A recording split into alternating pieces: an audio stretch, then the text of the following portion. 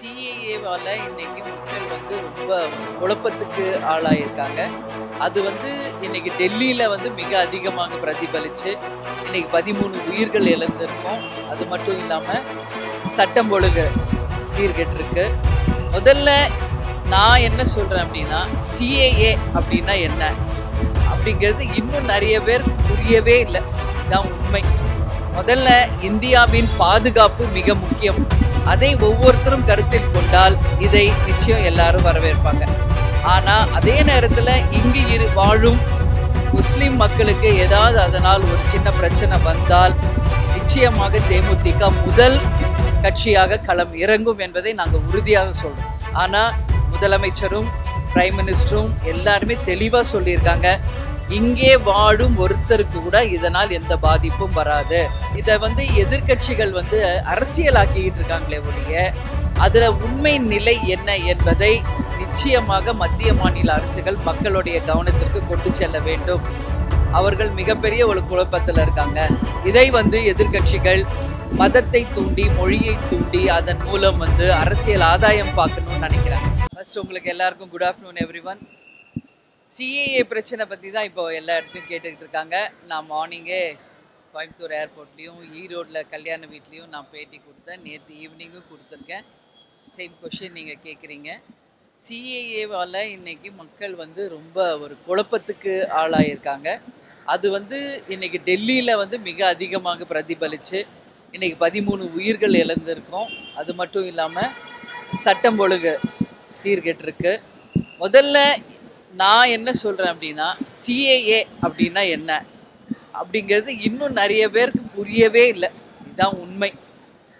ஏன்னா இதை வந்து எதிர்க்கட்சிகள் வந்து அரசியலாக்கிக்கிட்டு இருக்காங்களே ஒழிய அதில் உண்மை நிலை என்ன என்பதை நிச்சயமாக மத்திய மாநில அரசுகள் மக்களுடைய கவனத்திற்கு கொண்டு செல்ல வேண்டும். அவர்கள் மிகப்பெரிய ஒரு குழப்பத்தில் இருக்காங்க. இதை வந்து எதிர்க்கட்சிகள் மதத்தை தூண்டி மொழியை தூண்டி அதன் மூலம் வந்து அரசியல் ஆதாயம் பார்க்கணும்னு நினைக்கிறாங்க. முதல்ல இந்தியாவின் பாதுகாப்பு மிக முக்கியம். அதை ஒவ்வொருத்தரும் கருத்தில் கொண்டால் இதை நிச்சயம் எல்லாரும் வரவேற்பாங்க.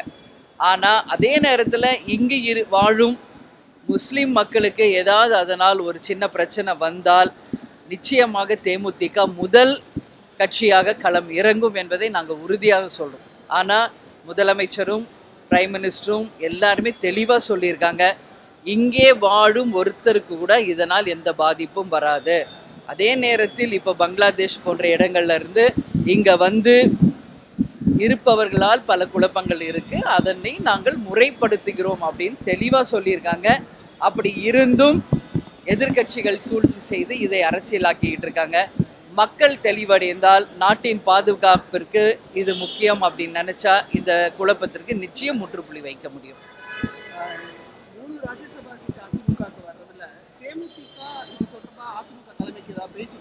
முதல்ல கூட்டணி அமைக்கும் போது இதை பற்றி பேசினது தான் தேசிய முற்போக்கு திராவிட கழகத்தை பொறுத்த வரைக்கும் எங்களுடைய கூட்டணி தர்மத்தை என்றைக்கும் கேப்டனும் கேப் நாங்கள் கடை கடைபிடிக்கிறோம். உறுதியாக முதலமைச்சர் அவர்களும் அந்த கூட்டணி தர்மத்தோட நிச்சயம் வந்து அந்த ராஜ்யசபா எம்பி தருவார் அப்படின்னு நினைக்கிறோம். பொறுத்திருந்து பார்ப்போம். ஏதாவது இப்போ ஏன்னா தேதி அறிவிச்சிட்டாங்க. ஆமா. ஒரு பத்து நாள் கூட அதுதான் நான் அது அதுதான் நான் சொல்றேன். ஏற்கனவே வந்து நாங்கள் கூட்டணி அமைச்ச போதே கேட்டது தான் இது.